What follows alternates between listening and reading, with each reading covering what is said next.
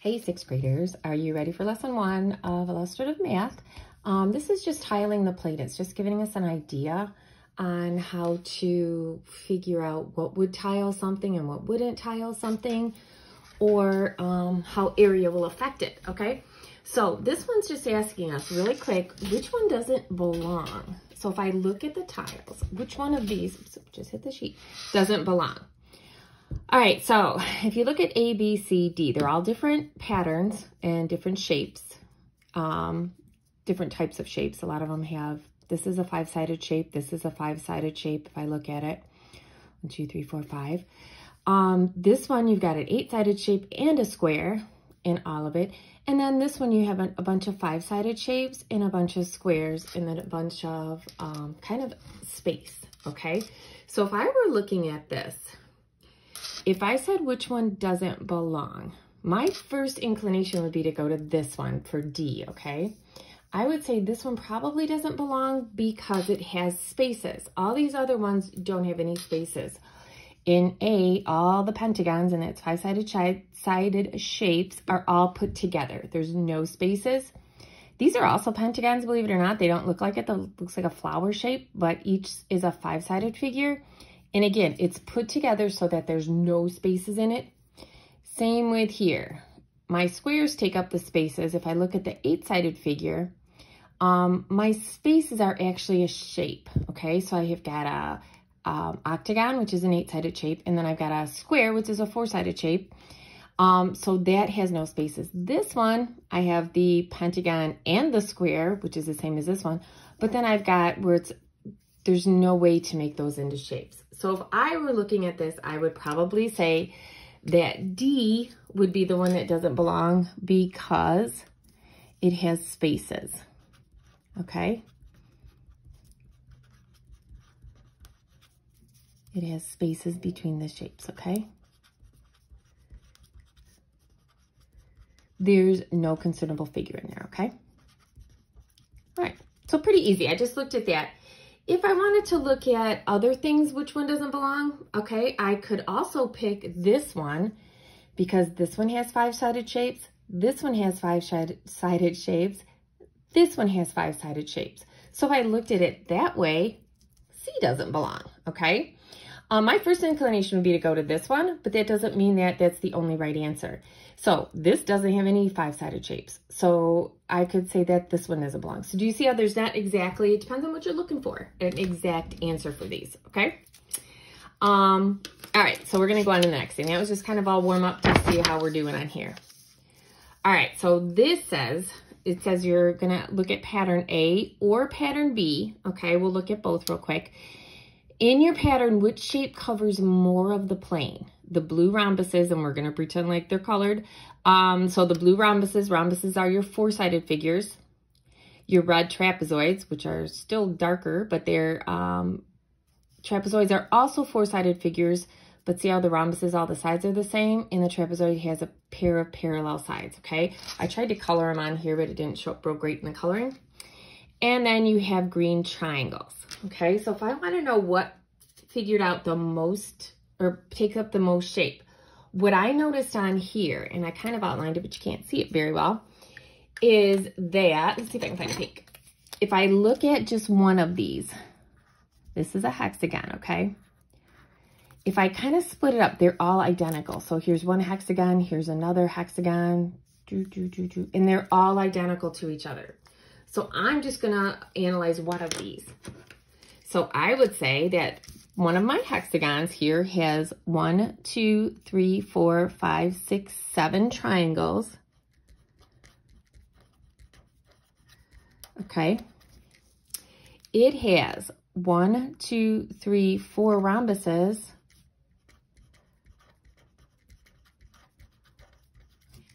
And it has one, two, three trapezoids.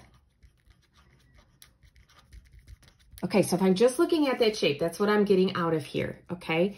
If I look at the bottom shape, it's gonna have the exact same thing. It has one, two, three trapezoids.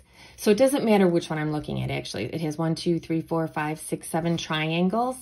And it also has one, two, three, four rhombuses, okay? So they're both going to have the exact same thing. That's why it didn't matter which one we looked at. So we're just going to stick with this one because the second one's going to be the same. All right, so if I look at this, okay, I've got, so let's figure out what each thing does, first of all. So if I look at just triangles, so let's figure out if I made everything into triangles, okay? So one rhombus, if I split it in half, would give me two triangles. Okay, does that make sense? If I looked at a trapezoid, one trapezoid, if I split it into, I could have a rhombus and a triangle. And I know that rhombuses are two triangles because we just did that. So this equals three triangles. All right, so I have seven total triangles. If I split everything, if I split my rhombuses, okay, I would say that um, if I have four rhombuses, that means it was eight triangles, okay? So if I did this, this equals eight triangles because each rhombus is two triangles, okay? So far, so good? So already I know that if I had four rhombuses, I have more rhombus area than I have triangle area because this would take up eight triangles. This takes up seven. So my triangles are out. My triangles are not going to take up the most space. All right, if I look at trapezoids, each trapezoid is three triangles. One, two, three triangles. I have three trapezoids. Each one has three triangles. So three times three is nine. So this would need nine triangles okay? So again, if I made everything into what a triangle would be, this has seven, this has eight, this has nine. So my trapezoids are gonna take up the most area, okay? That would make up the most triangles. I could have done this, make them all rhombuses and figure out how many rhombuses there were. I could have made them all trapezoids, but triangles were the easiest thing because I can split them each up into equal amounts of triangles. Okay, so I'm gonna take the smallest shape and try to figure out what I can do with it. So if I did the same thing down here on the bottom one, same thing. If I figured out how many triangles there are, I could figure out how many rhombuses there are, okay? If I, um, so I had one, two, three, four, five, six, seven triangles. Each triangle is, two triangles make one rhombus. So this is one rhombus, two rhombuses, three and a half rhombuses. Well, I had four of them. So again, the rhombus is one. If I turn this into a triangle and a rhombus, okay, this would give me one, two, let's see, let's do it this way. This is a rhombus and a triangle, rhombus and a triangle, rhombus and a triangle. This would give me one, two, three rhombuses, four and a half. Okay, so I'd have this little bit left over. Um, so that I still know that the trapezoid took up more area because it was more rhombuses. So I kind of make it all one shape and figure out who had the most of that shape. All right.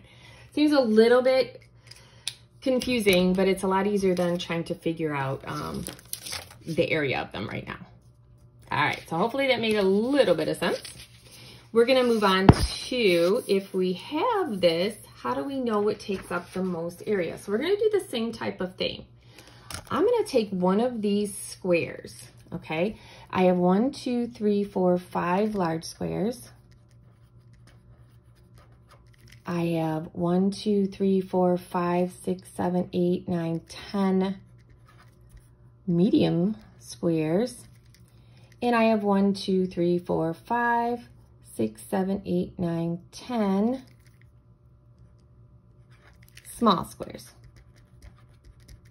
All right, if I'm looking at which takes up the most area, I have the exact same number of small squares as medium squares, and the small square takes up way less area than a medium square, so my small is out. My small will not take up the most area. So I'm looking at which takes up the most area, five large squares or 10 medium squares. All right, here's how we're gonna do this. If I looked at this, okay, one small, one rhombus, It's rhombus, it's a square and a rhombus actually, was four small, right?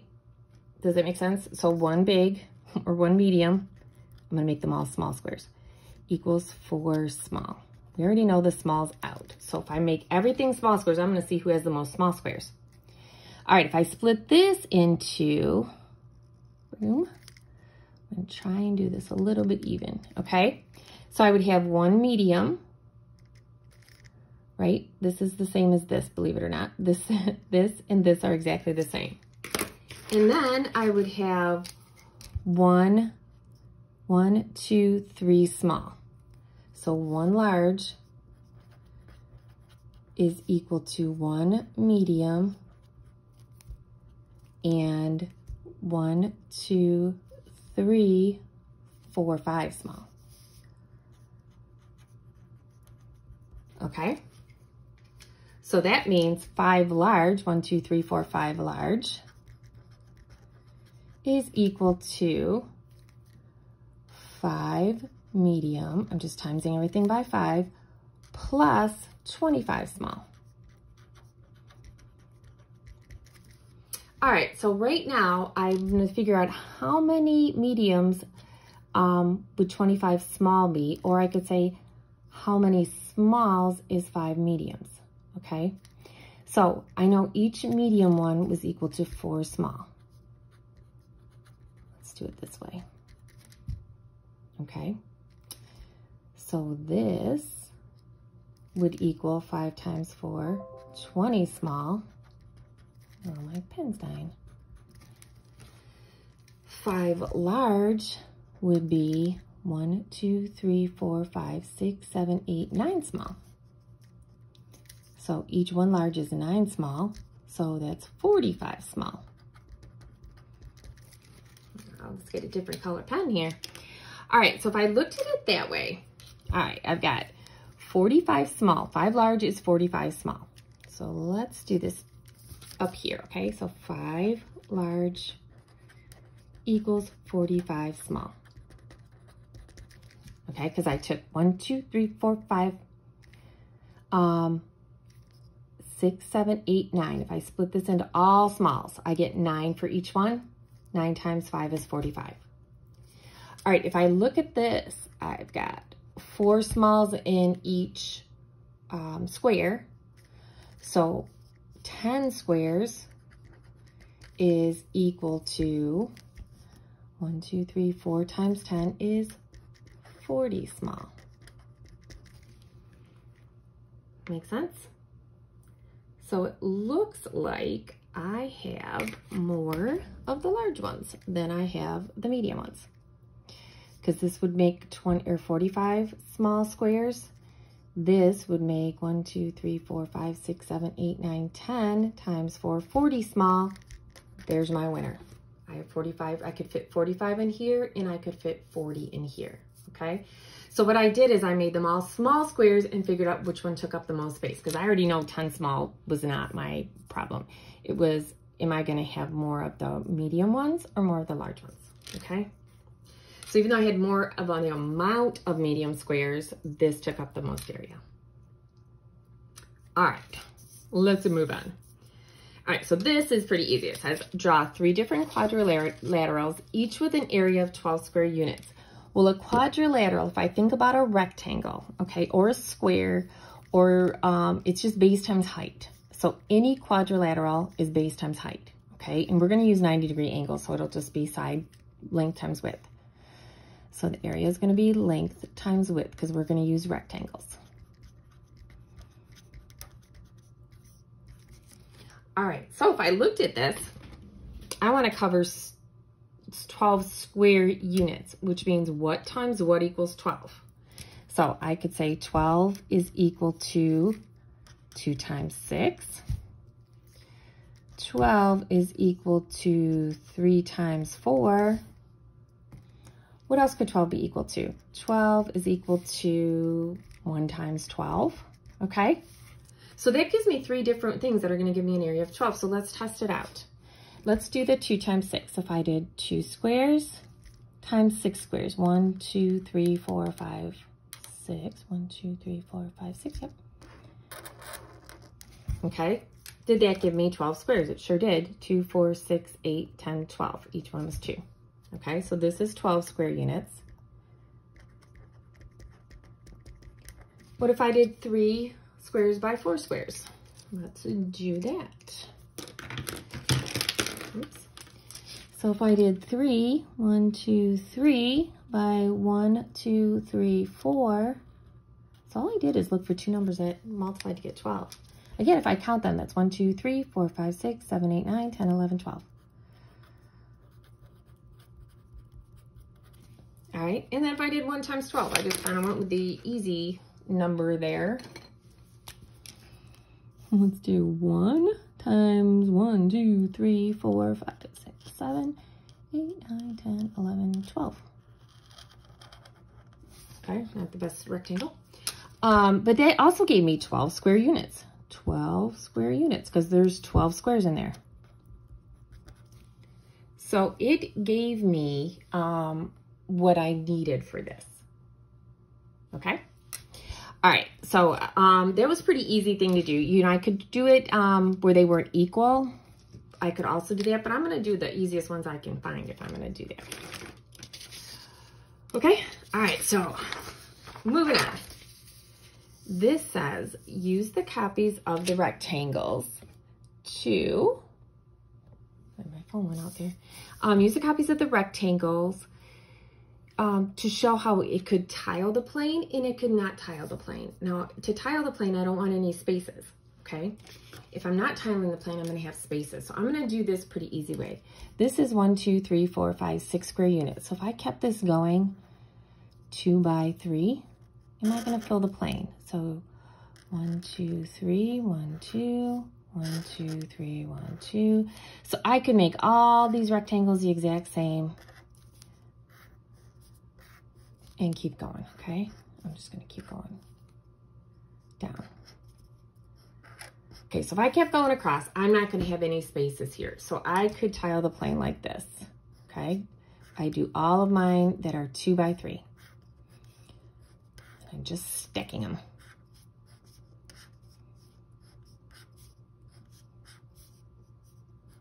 All right, that tiled the whole plane. I didn't have any spaces because there was my original. All right, what's a way that I could do it where I would have spaces? Well, let's do this. Let's say, what if we went this way? If we went three by two, okay? So I'm gonna do two by three this way, three by two this way, two by three this way, one, two, three by two this way. Okay, and I kept this pattern going.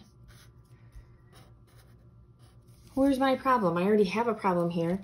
I can't fill this because it doesn't fit in my rectangle, okay? So I would not be able to tile the plane doing mine one um, horizontal and one vertical okay? Because I would have all these spaces uh, left over. All right. Okay, so this one says, in the, the area of the shape is 24 square units. Which of these statements is true about the area? So we're going to select all that apply. This says the area could be found by counting the number of squares that touch the edge of the shape.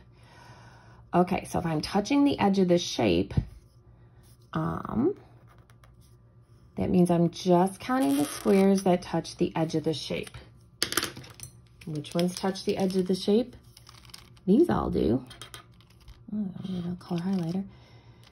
This one does. This one does. These all do. They're touching an edge. But those ones don't. They don't touch the edge of the shape, so that will not work, okay? Because this only tells me that there's one, two, three, four, five, six, seven. I guess this kind of touched an edge corner. So we'll count you. 8, 9, 10, 11, 12, 13, 14, 15, 16, 17, 18 squares. That one does not work. This one says it takes 24 grid squares to cover the shape without um, gaps or overlaps. Okay. So 24 to cover everything without gaps or overlaps. Okay. So there's no gaps or overlaps in there. So that one's true. There's 24 squares if I count them. 1, 2, 3, 4, 5, 6, 7, 8, 9, 10, 11, 12, 13, 14, 15, 16, 17, 18, 19, 20, 21, 22, 23, 24. So that one does work. If I were filling up this whole thing, it would not work though, okay? So I can't go six across. So if I said, if I want to keep this pattern going, would it cover everything? No. But right now, yeah, this covers everything. There's no gaps. The area can be found by multiplying the side lengths that are six and four units. Well, that's kind of weird. Why would I do six and four? Okay.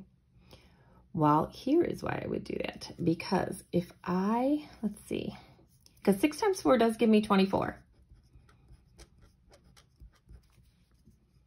Okay, so let's say we're going to do this. If I took, how do I want to do this? If I took these two, let's make a rectangle. So if I took these two off and added them on here and here, okay, and I just took those off so that it is one, two, three, four, three, four. Actually, that gives me five. I want six. Um, I'm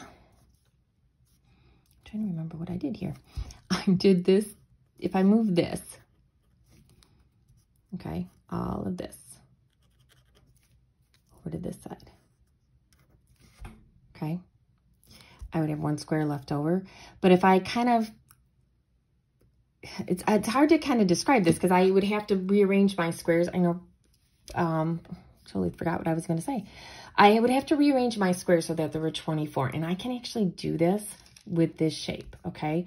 I guess I would probably do it this way instead. I'm kind of thinking as I'm going through this. If I had 12 here, okay, then if I went one, two, three, four down, that would give me six. One, two, one, two, three, four, five, six. If I went here and then I did one, two, three, four, two, three, four, and I make a big rectangle here, that would be six times four, I think is the way I was trying to show it. Okay? That's a disaster. All right, so that one does work. The area can be found by counting the grid squares inside the shape. That is very true. There are 24 squares in there and the area is 24. This one says the area can be found by adding 4 times 3 and 6 times 2. So what this was actually doing, and I kind of wrote all over the squares, so it might be a little weird, but what this is actually doing is showing that if I, my original rectangle was this, okay, and that is 1, 2, 3, 4 times 3. My second rectangle was this one, which was 2 times 1, 2, 3, 4, 5, 6. This is 12 this is 12. Do they equal 24? Yes. So that one does work too. So what I did is I just took the areas of the squares and split them up and added them together. That one didn't work, they? All right, we're getting there. Last but not least on this one, okay? All right, this one says, here are two copies of the same figure. Show two different ways for finding the area of the shaded region. All the angles are right angles. That's important because it'll make rectangles for me.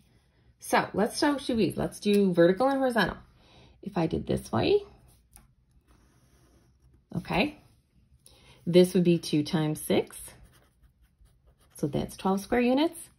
This would be three times two plus three is five. This gives me 15 square units. And this also gives me 15 square units, 5 times 3. Okay? What if I do it another way?